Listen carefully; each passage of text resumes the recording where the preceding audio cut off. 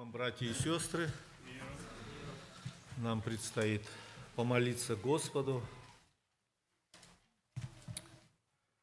И перед этим мы выслушаем слово, которое я прочитаю.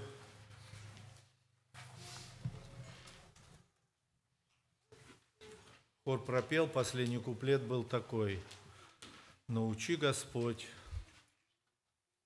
на коленях так стоять, чтобы побеждать.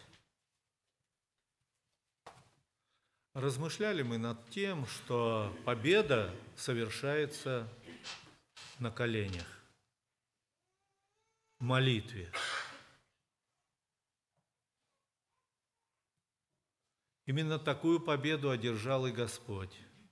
Если мысленно мы туда перенесемся в Гефсиманию, Гефсиманский сад, начинался этот гимн, хористы пели. Победа совершалась на коленях в молитве. Это было жестокое сражение. И там, если честными быть, где мы проигрываем, мы можем вспомнить, это было всегда там, когда мы не молились. То есть не соединялись с нашим Господом в молитве, не искали Его помощи, не искали Его поддержки, Его защиты. Текст, который я прочитаю, один всего стих, ну и к которому позже будет добавляться – Послание к евреям, апостол Павел в третьей главе, первый стих, так обращается к уверовавшим тогда, а сегодня обращается к нам.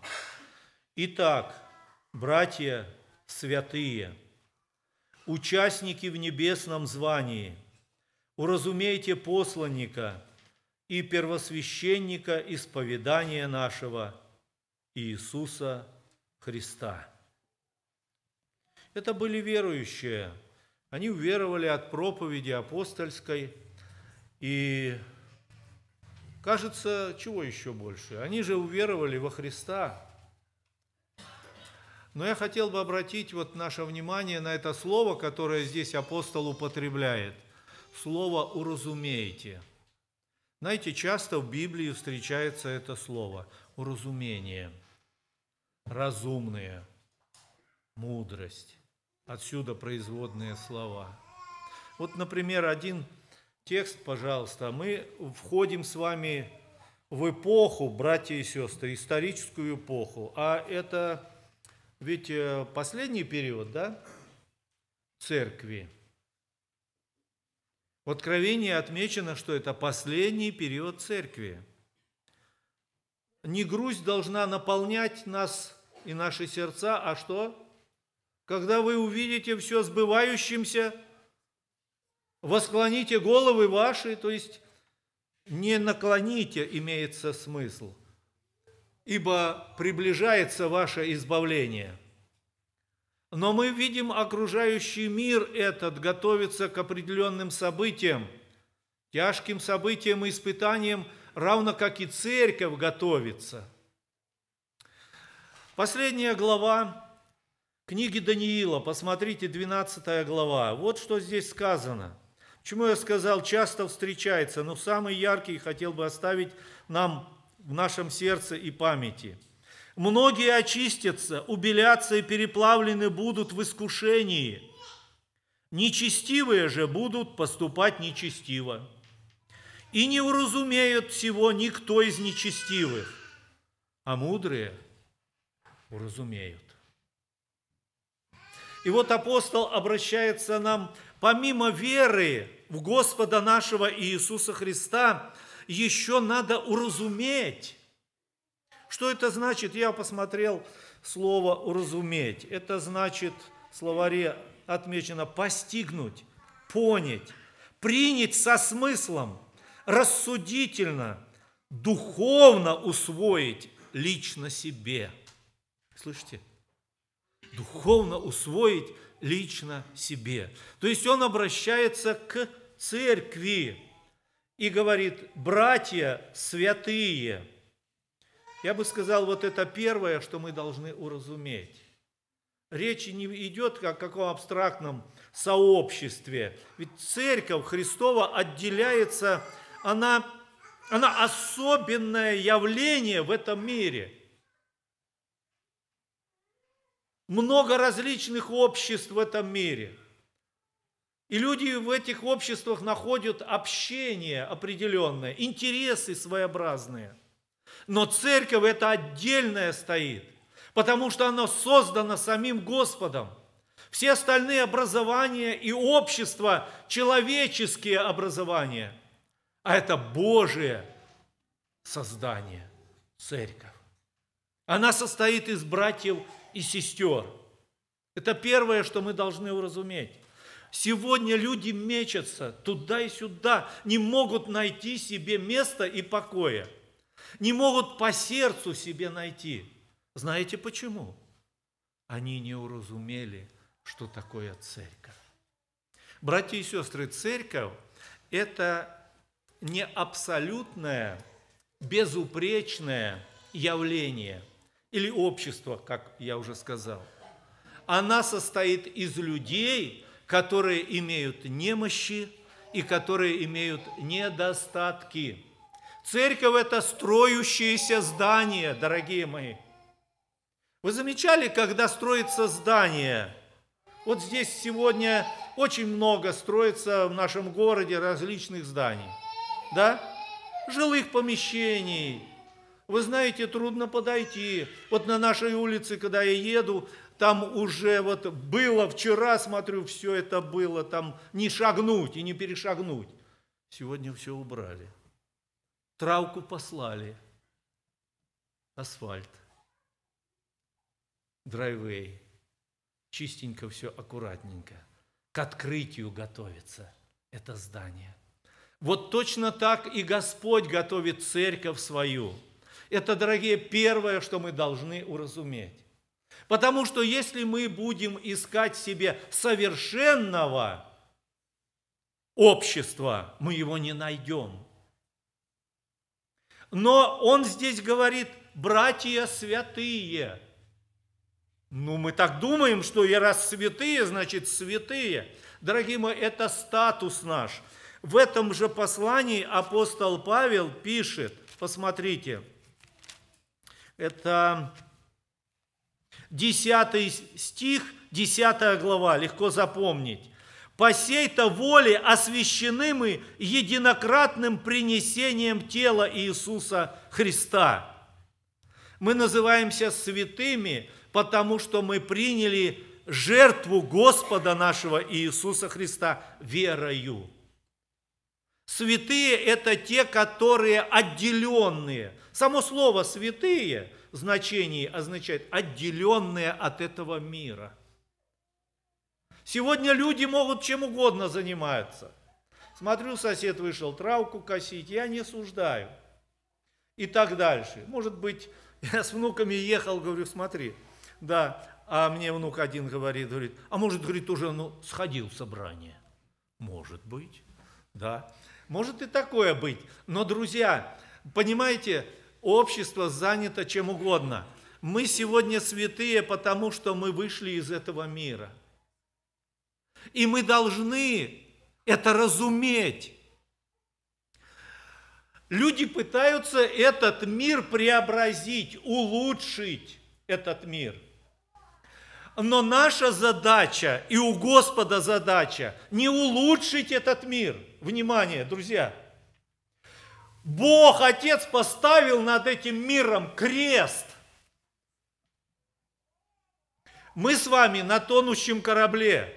Я вас поздравляю.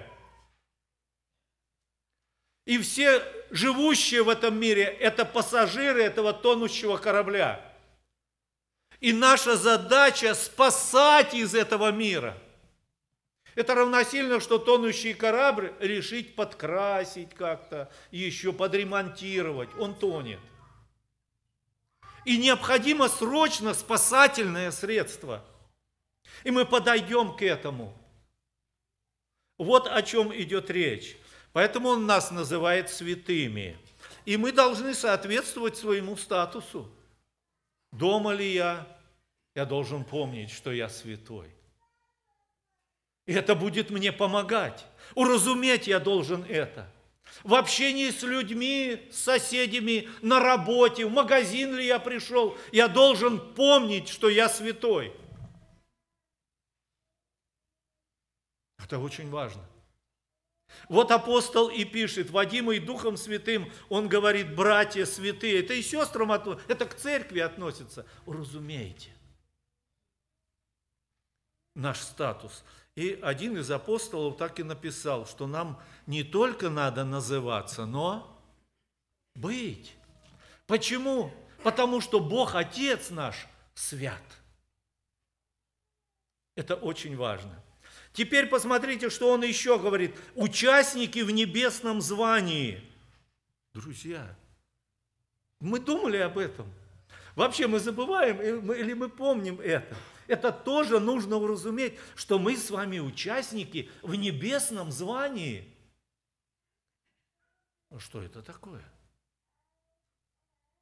Вот когда человек принимает Иисуса верою, имя его записывается у Господа в книге жизни. Есть книга жизни на небесах. Последний день эти книги о делах наших и дела наши то же самое пишутся там. Но есть книга жизни, где все спасенные записаны в этой книге. Я не выдумываю. Сами свидетели, кто читает Библию, это в Слове Божьем сказано. И иная книга раскрыта, которая книга жизни. Последняя глава, вы читаете Откровение. И что там было? Очень важно задать себе вопрос. Я записан в книге жизни. Есть такой псалом, да? Я записан в книге жизни вечной и святой. Вечной и святой. Хор, кажется, его пел. Это важно уразуметь то же самое. Вы понимаете, на какую высоту Господь поднимает? Мы в рутине земной ходим по этой земле, про все это забываем. Но Писание нас поднимает, открывает нам эту важную истину. Участники в небесном звании – вы знаете, что ангелы желают в это проникнуть. Ну как это так? Грешники, которые отпадшие, погибшие в этом мире, вдруг удостоились чести быть на небесах записаны у Господа в книге жизни.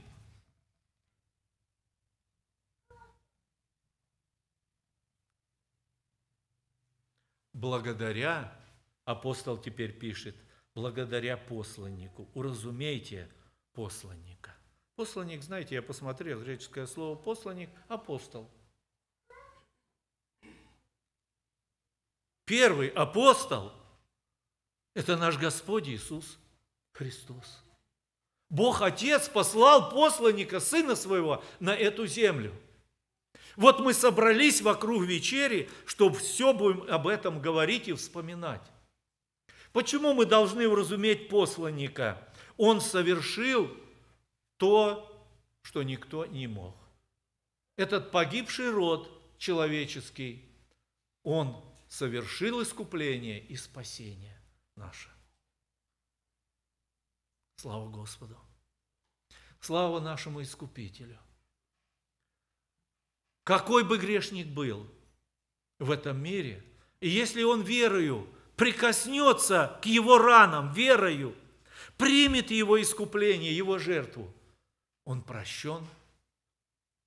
Вот в чем задача посланника. Он послан был на землю совершить дело искупления. А опять же, послание к евреям, посмотрите, первая глава, третий стих. Это все об этом. Апостол пишет, Третий стих, посмотрите, первая глава евреям. «Сей, будучи сияние славы, вот кто он, и образ ипостаси его, держа все словом силы своей». Одним словом все держит. На чем держится земля? Вообще вселенная это. Словом его держится. Представьте. Совершив собою очищение грехов наших, моих грехов, Михаил, ваших грехов – воссел, одесную престола величия на высоте. Вознесен до третьего неба и воссел, одесную Отца. Дело искупления совершилось. Теперь остается дело за людьми, дело за нами. Для этого проповедуется Евангелие, чтобы каждый, я и ты, имел шанс, я сказал, мы на тонущем корабле, спасательное это средство для себя принять. Господа Иисуса. Он наше спасение. Он ковчег спасения. Принять его верою. Как важно это, друзья. Если вы это сделали, благодарите Бога вы спасены. Вот Он совершил собою очищение грехов наших. Это все Господь. Вот этого посланника мы должны уразуметь, хорошо усвоить. Знаете, тогда встречал людей по служению, сомнения приходят. Прощен я или нет? Спасен я или нет? Не об этом думайте. Думайте о том, кто это совершил для нас. В том любовь, пишет апостол этот же в своем другом послании, что не мы возлюбили Бога, Он возлюбил нас и отдал Сына Своего. Это уже совершено. Это да и аминь, оно совершилось. И от нас только зависит, что мы принимаем открытым сердцем. И следующее, друзья, не буду много об этом говорить, можно продолжать и говорить. Весь Новый Завет и все послания просто пропитаны этим. И мы это не просто уверовать, мы уразуметь это должны. Непоколебимо. И мы еще должны уразуметь первосвященника исповедания наше. Не наше исповедание, братья и сестры. Слышите? А первосвященника нашего исповедания, чтобы не колебались.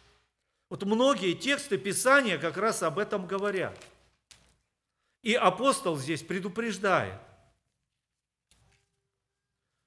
Разные тексты, вот я открываю, читаю, 6 глава, 11 стих. «Желаем же, чтобы каждый из вас для совершенной уверенности в надежде оказывал такую же ревность до конца». Это очень важно. Это очень важно для нас. А в чем разница? Посланник – это для Бога. А первосвященник – это для нас. Он не только совершил все, что нужно было от Отца исполнить, и теперь он сидит, одесную Отца, и размышляет, и думает, и смотрит на нас – я уверен, Он смотрит на нас сейчас. И Он, главное, знает мысли наши, каждого в отдельности. Вот чем мы здесь или мы где-то. Понимаете? Это мы тоже должны уразуметь. Вы знаете, молодости, молодежь, дети, пожалуйста, сюда внимание. Когда я понял, что от Бога спрятаться никуда нельзя, убежать нельзя, ничего утаить невозможно – мне легче стало жить, слышите? Почему? А хитрить не надо. Пред ним надо быть открытым, как есть. И все. Он как раз занимается нами и нашими проблемами. Это его новый статус – первосвященник. Первосвященник для нас – это ходатай. Вот что он делает. Знаете, в этой стране можно Брат один мне хвалился. А я, говорит, себе адвоката просто, не просто нанял, я ему приплачиваю. Вот, да, договор заключил. Пожизненно сколько. И он там, случился кар-акцидент. Кто? Я не разбираюсь, мой адвокат. Меня штрафовали, мой адвокат. Иншуринс, мой адвокат там. Э, заболел я что-то, медикал. Мой адвокат решает все мои, говорит, вопросы. Братья и сестры, Первосвященник наш решает все наши вопросы. Слышите? Все наши вопросы. Посмотрите, что во второй главе здесь сказано. 17 стих. Это уже послание, вторая глава. Посему он должен был во всем уподобиться братьям, чтобы быть милостивым и верным первосвященником пред Богом для умилостивления за грехи народа. Мы отмечали, что мы несовершенны, да? Кто вступает?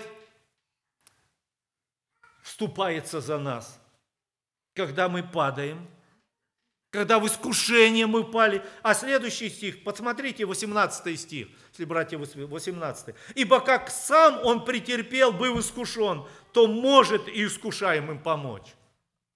Иногда мы забываем. То он этим занимается. Помогать искушаемым. Потому что сам через все это прошел. Если ты переносишь какие-то искушения и не знаешь в борьбе, уже устал, обращайся к Нему. Он знает выход, Он знает, как помочь искушаемым. Друзья, и это не только это, это все от Него. Если четвертую главу, посмотрите, откроем, это все о Нем. Мы должны уразуметь этого первосвященника. Смотрите, итак, 4 э, глава, 14 стих прочтем, давайте пару стихов здесь. «Итак, имея первосвященника великого, прошедшего небеса, Иисуса, Сына Божия, будем твердо держаться исповедания нашего». Мы грехами нашими Господа не удивим. Главное прийти к Нему открытым сердцем. Вот так, как есть. Господи, я не выдержал экзамен. Я согрешил.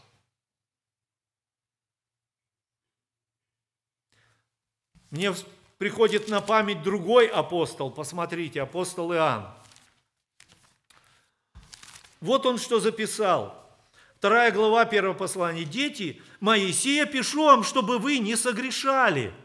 Ну да, это наше стремление. Новая природа, которую нам Господь дал, возрожденная, она старается снова в эту грязь, в эту пакость, вот, вот стараться от этого порока подальше держаться. Но иногда мы должны признаться, опять же, по нашей плотяности, потому что мы не так близко с Ним имеем общение. Часто пропускаем, как вначале отметили, пребывать на коленях в молитве. И согрешаем. И дальше. А дух томится. Да. Что сделать? Идти к нему, читаем, да, дети себе пешом, чтобы вы не согрешали. А если бы кто согрешил, мы имеем что? Ходатая. Ходатай – это адвокат. Это первосвященник. Первосвященника долг был представлять проблемы, нужды людей. За них ходатайствовать, за них молиться и за них совершать жертвоприношение. Вот чем он сегодня занят. То мы имеем ходатая пред Отцом Иисуса Христа, праведника.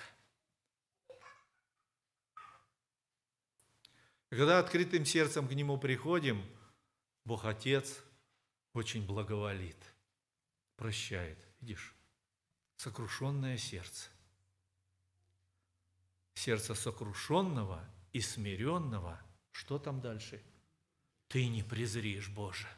Слышите? Не-не-не, уже сколько можно. Братья и сестры, мы должны уразуметь первосвященника ходатая нашего, и тогда, когда мы плодов не приносим никаких, не только когда согрешаем. Помните притчу Иисуса? Да? Как садовник умолял, но это смоковница вообще никакого плода. И первый год, и второй год нет плода. А он, а у него есть что сказать. Я еще потружусь, я еще что-то сделаю. Мы не разумеем, может быть, и не думаем, сколько раз Он нас пред Отцом Небесным выручал. Когда совершенно суета, пустота, бесплодная жизнь, ни здесь, ни здесь, толком ничего, любви к Богу толком нет – А он, как первосвященник, ходатайствует за нас. Вот то, что размышляя и читая Слово Божие, Господь положил на сердце поделиться с церковью. Дорогие мои, будем молиться, чтобы глубже, больше уразуметь. Когда мы это уразумеем, Он нам станет дороже. Он станет нам роднее. Он станет нам ближе. Он любезнее нам станет.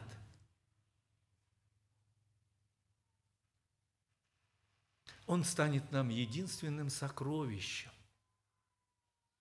Наш Господь Иисус Христос, который приходил сюда, чтобы тебя и меня вызвать из этого мира, спасти. И вот мы собрались вокруг вечери Господней, чтобы снова вспомнить и уразуметь, какой ценой досталось Господу нашему – этот наш святости статус, и то, что мы записаны, и наши имена на небесах, и то, что мы до сих пор вот такие, как есть, все это Его милость и благость. Давайте мы преклонимся пред Ним и откроем наши сердца в молитве, прославим Его и поблагодарим. А если нужно, попросим прощения у нашего Господа милосердного. Аминь. Аминь.